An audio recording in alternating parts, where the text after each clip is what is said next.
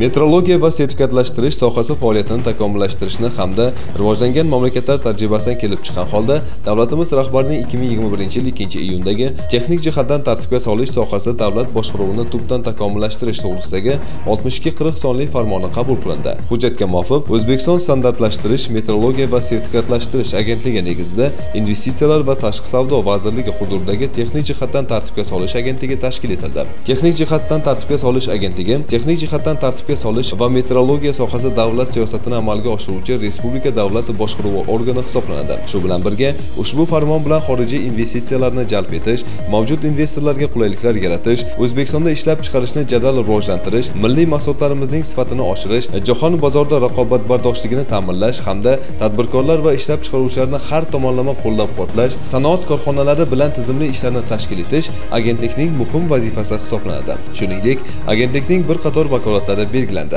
51-33 sonli prezident qaroriga muvofiq texnik jihatdan tartibga solish agentligi ustandart agentligining huquqlari majburiyatlari va shartnomalari shu jumladan xalqaro shartnomalar bo'yicha huquqiy vorisi hisoblanadi.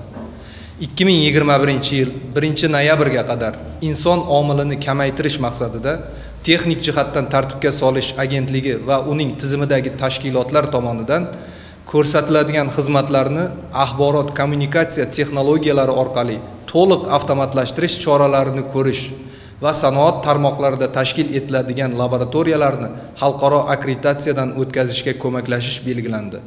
Bundan tashqari ushbu qarorning sakkizinchi ilovasiga muvofiq o'zbekiston respublikasi davlat byudjeti mablag'lari hisobidan 2021-2023 yillar oralig'ida xarid qilinadigan 71 dona etalonlar ro'yxati ko'rsatib o'tilgan.